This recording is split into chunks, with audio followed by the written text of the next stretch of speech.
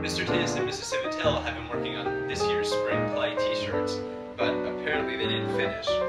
However, the play is finished, and it looks pretty great. So come see You Can't Take It With You May 1st, 2nd, and 3rd at 7 p.m.